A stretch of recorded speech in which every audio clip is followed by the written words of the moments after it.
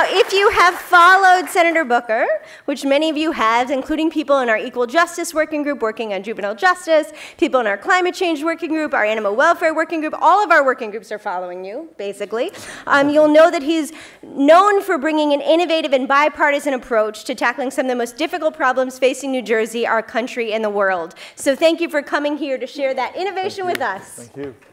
Thank you very much. Thank you. So, should, should we practice our, our State of the Union look? Yes.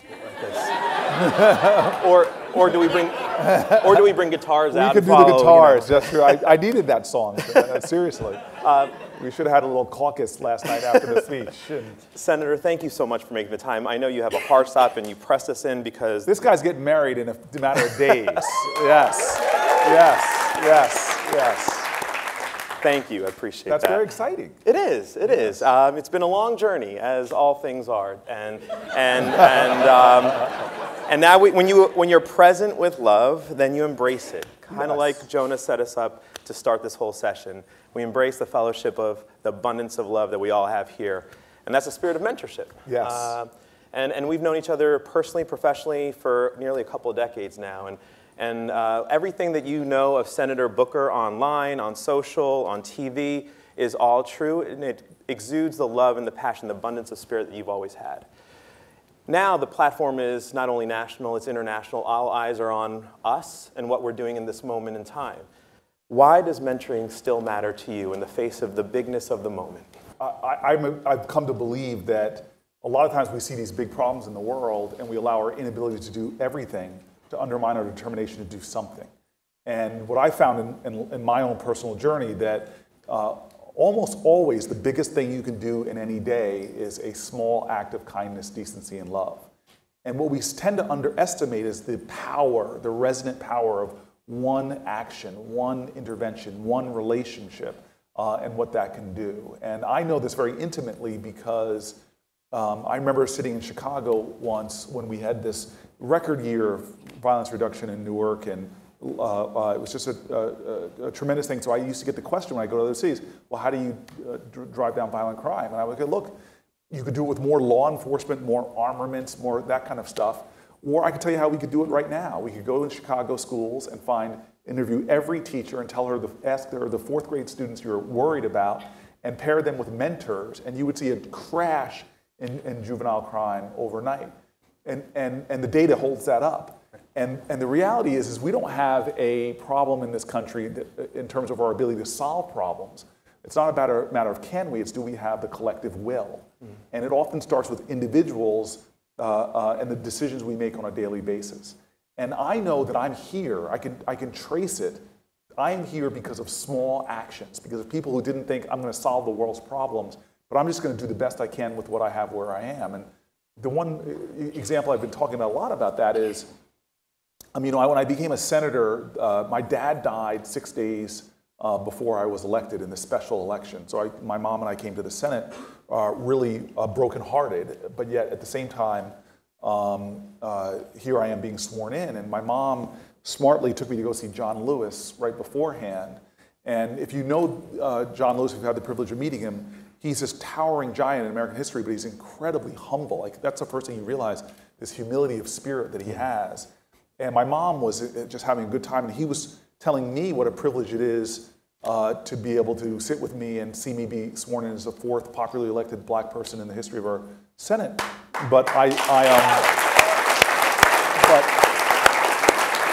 but, but, here he's saying this with all this humility, and his office looks like a civil rights museum, except for he's in every picture. um, uh, um, and, um, and so I, I go to the, to the Senate floor, get sworn in, and I, a year later I decided to write a book, and I had to figure out, go back and research the stories I've been told as a child.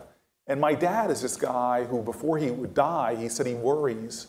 Uh, he really anguished in a bad day in Newark. Uh, he anguished to me that a kid born just like him, uh, poor, black, in a segregated environment to a single mom, which is how the majority of kids in Newark are born, the majority of kids in most cities um, are born. And he said, I worry that, that a kid born like me would be better off being born in 1936 when my dad was born than being born today. And I'm a data guy, and I, I always, when I was married, so I was saying, God we trust, but everybody else bring me data. Um, and, and when I looked at the numbers, unfortunately, if you look at the outcomes for an African American boy, uh, on a lot of indices, he's absolutely right. It's better for him to be born in 1936. And the stories of how my dad broke cycles of poverty all had to do about individuals, like mentoring relationships, when his mom couldn't take care of him, that snapped it. Or individuals, when he got to college, people who were not leading the civil rights movement, but street level civil rights workers who made decisions with their summer that they would come out and do sit in movements. When he got to Washington, D.C., here, it was just not these names you read about in newspapers, but ordinary Americans who came together and started lobbying companies to hire qualified blacks. My dad gets, the first African American hired by IBM as a salesman in the entire Virginia area, this area. And then when my parents moved up to New Jersey, they, white, uh, white real estate agents wouldn't show them homes in communities that had great schools, which happened to be white communities. Every time they'd show up, they'd be told the house was sold. And so a volunteer white couple on their weekends, set up by these lawyers, uh, this incredible lawyer who led this organization and the Fair Housing Council leader, they, my parents would go see a house. They would be told it was sold. The white couple would find it still for sale. And the white couple put a bid on one of these houses for my parents as a proxy. The bid was accepted, papers drawn up.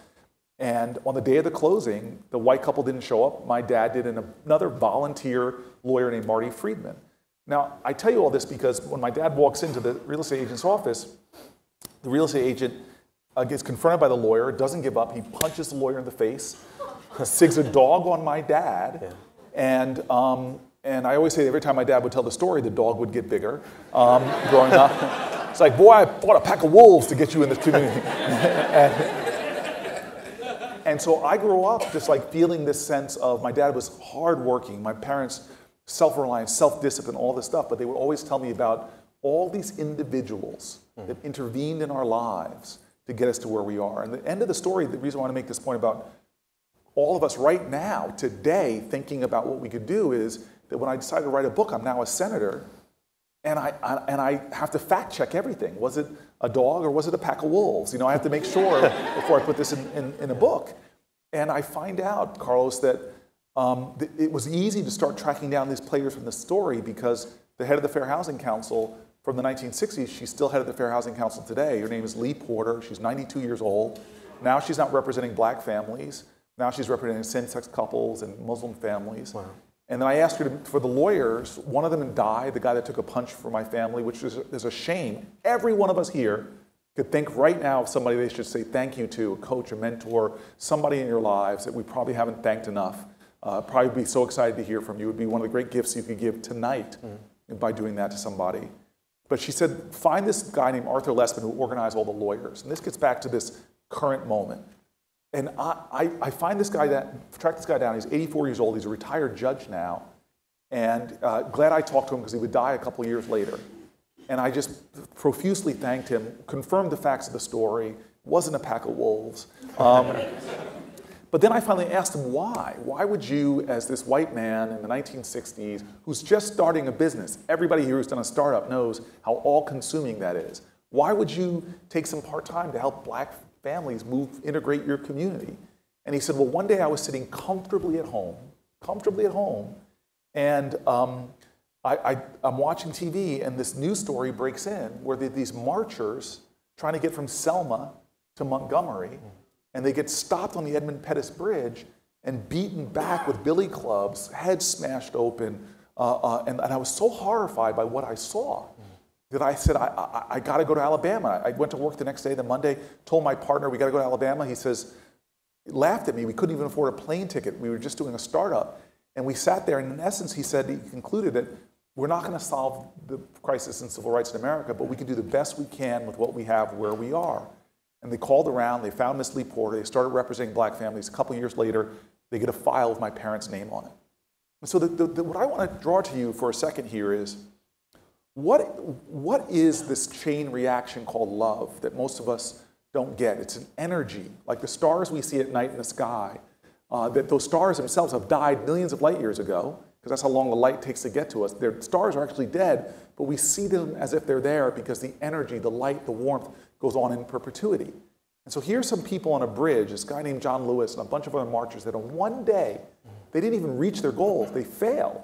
But their righteousness of standing up unleashed this light and this love that a thousand miles away had jumped jump this geography to change somebody's heart in New Jersey, who would then go on and change the destiny of generations yet unborn. That's the power of love. And, and these one on one relationships, they may seem small in the moment, but what you're doing is you're changing destinies, you're transforming outcomes. You yourself are emanating light that might make somebody else be a mentor, then changes history there. Alice Walker said the most common way we give up our power is not realizing we have it in the first place. Amen. We are so profoundly powerful as people, but often we fail in so many instances to use that power. And so I'm a United States Senator. I was a mayor of a city. I, all of us have been busy. I, I, will, I will compete, especially when I was mayor. Senators, we get like recess again and all this stuff. but when I was a mayor, I was as busy as hell. But I still took time to mentor kids in Newark. And now I have, I have my mentee, Keandre, who's now uh, uh, uh, graduating from high school. But I've like, I adopt kids in my neighborhood because Alice Walker, and I'll end with this and maybe let you ask a question. Um, I, I, I, told, I told Rachel early on, I have the easiest job tonight. Ask one um, question and inspire us all. But Alice Walker, she's got this great book called In Search of My Mother's Garden, if you ever have a chance. There's a chapter in it called, uh, I think, Black Revolutionaries. The real revolutionary is always concerned with the least glamorous stuff, with raising a child's reading level from third grade to fourth, with filling out food stamp forms uh, for people because they have to eat, revolution or not. The real revolutionary is always close enough to the people to be there for them when they're needed. I've made a decision with my life. Like, I graduated from law school and I'm, i said I'm going to move into a low income uh, uh, inner city community. I'm the only senator that lives in a neighborhood where the median income is $14,000 uh, per household. I have a community that is rich with culture, rich with spirit, but uh, you know, I had a shooting on my block recently. My community struggles with lots of issues, but I want to stay physically close. One of the sins in this world is how separate we are from each other. And maybe you don't have to live in a community that's in struggle, where, where millions, tens of millions of Americans live every day, where they're worried about their safety, they're worried about the quality of their public school. Maybe you don't have to live there, but, but we should be mentoring, we should be connecting ourselves spiritually to there because nothing will change about this world unless we are willing to be a part of that change, even if it's the smallest uh, uh, thing. Amen to that. So, thank you.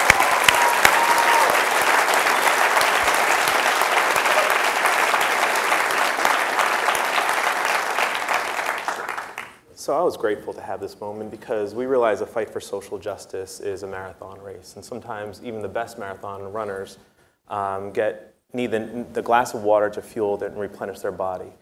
Marathon race run at a sprinter's pace. When we're on the ground, we sometimes see, we don't see the forest from the trees. Can you, you provided a spark for us in Newark about a decade ago when you restarted our organization and we came in and, and we now have magnified the mentoring movement in Newark with yes, partners incredible. alike. But it was with your spark. And as we've grown this and have had thousands of mentors step up in the lives of children in places like Newark, knowing firm, firmly that demographics does not determine destiny. If you pour into a child's life for an hour a week, it's a simple thing, and we all can do this. But yet, throughout that journey, we confronted many, many naysayers, many people who didn't feel that they could make the time. How do you find that time even still? Throughout the journey that you were talking about earlier, writing books, uh, uh, speaking, speaking truth to power, and also having a national platform. How do you still make the time? How can we all make the time to pour into those most proximate to us? Well, I'm going to say something big and then something small, and I'm afraid of being belled again, so I'll try to go quick. Look, I mean, the big thing is all of us in this room, whether you're a millennial or an ex-gener, if you're in one of those two generations, we have a comeuppance. We really do. Um, we're, we're on track to be the first generation of Americans not to do better than our parents we are a, a, the first generation that has taken this inheritance, where if you look, I'm a data guy, so if you look at the World Economic Forum keeps data on the success of nations, the, the competitiveness of nations. On every indice in our parents' generation, we were at the top, or grandparents' generation. Now in our generation, things have been crumbling downward. We had the best education systems, the best social mobility. If you were going to be born on the planet Earth poor, this was the country to do it. No longer the case if, it, if you're just measuring somebody who can get out of poverty into the middle class. Um, we used to have the best infrastructure on the planet Earth. We literally took our parents' beautiful, spectacular house, trashed it, and we're about to pass on to our children $3 trillion worth of infrastructure debt. I can go on and on and on. But the indices that matter to me more than any have to do with child poverty, um, have to do with, with the outcome of children, what's going to happen with kids. Uh, um, the great Maasai warriors have a greeting when they meet each other as Kasserian Ingera. Uh, um, uh, it's a question. Their greeting is a question How are the children? And on those measures, our generation also has a comeuppance. And I can go into more of the data of why I'm worried about what our legacy will be. The, the generations that have not been called the storm beaches in Normandy, the generations who have not had to uh, endure a great, a great depression that literally threatened the fabric of Western democracies, a generation that has not had to do freedom rides or march for suffrage, uh, for suffrage or, or battle for uh, civil rights. Our generation, who luxuriates in, in all the blessings of this democracy won for us by others, the question will be what will we do in our generation? How will we be mem- remembered? And it can't just be technological achievements because what's technology when you still have persistent poverty in communities? What is technology when you still have 3,000 communities where children are being poisoned at twice the blood lead levels in Flint, Michigan? I could go on and on and on. What is the use of being technologically advanced when that is the condition? And so the question I'll simply say to end is this, this idea that we have to wait for senators or a president to be a part of that change is just wrong. Everything comes down to what am I doing right now? And I want to say, and Carlos is a man of such integrity, um, where his words so well match up with, his, with what he does. And that what you were asking that question is this idea of spark. And, and that's really what I want to end. Every moment of our life, every moment, we have one choice to make over and over and over again. It's to accept things as they are or take responsibility for changing them. Um, every moment of our life, something is small. I got a direct message on my Instagram today from one of the red jacket wearing uh, uh, uh, guys when, when in the Capitol, when people come to visit the Capitol, just going out of their way saying it means so much that when you're briskly walking, you stop and talk, you say hello. We underestimate the power of one small act. And I'll end with this confession. Look, um, I, I live, as I told you, in an inner city community, and unfortunately, ubiquitous in inner city communities uh, are these things that are a weakness to me. Um, they're like sirens. And, and, and, when I imagine myself in my haughty moments as like Odysseus going home, they're like sirens calling me to the rocks. I don't know if you've ever heard of these things, but they exist a lot in Newark. They're called McDonald's.